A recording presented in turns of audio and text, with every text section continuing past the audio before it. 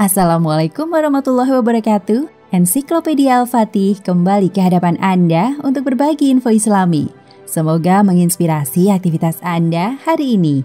Dan jangan lupa klik tombol subscribe dan aktifkan notifikasi tombol lonceng agar tidak tertinggal berita terbaru dari Ensiklopedia Al-Fatih.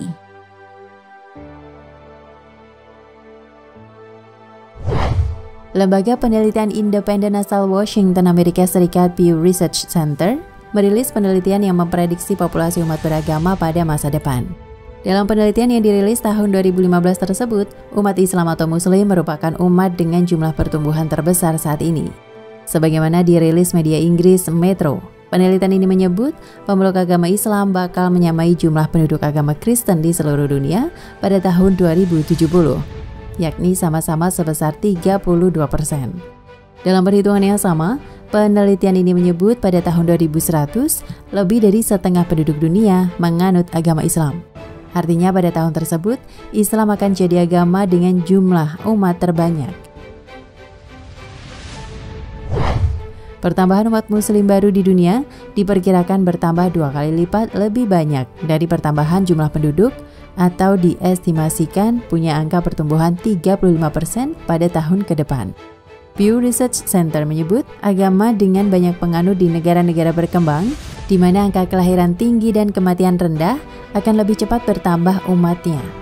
Pertumbuhan terbesar dari agama Islam dan Kristen misalnya, diperkirakan ada di kawasan sub-Sahara Afrika, selatan Gunung Sahara, pada tahun 2050, diperkirakan populasi umat Kristen di negara-negara besar Eropa seperti Inggris, Prancis maupun Belanda akan kurang dari 50 persen.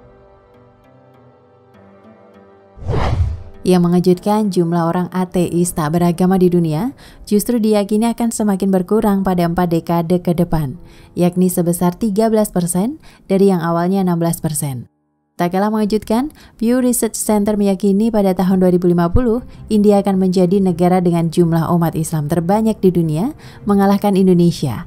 Studi lembaga ini menyatakan, hampir 46 juta muslim berada di benua Amerika. Di Amerika Serikat, agama Islam dipeluk oleh sekitar 2,5 juta orang. Sementara itu di Kanada, jumlah pemeluk Islam diperkirakan 700 ribu orang. Tak jauh berbeda dengan Argentina, umat beragama di negara Tenggo itu diprediksi mencapai 800 ribu orang, sekaligus menjadi negara dengan pemeluk Islam terbesar di Amerika Selatan. Yang menarik, perkembangan Islam dinilai pesat justru setelah terjadinya tragedi serangan World Trade Center di New York 11 September 2001.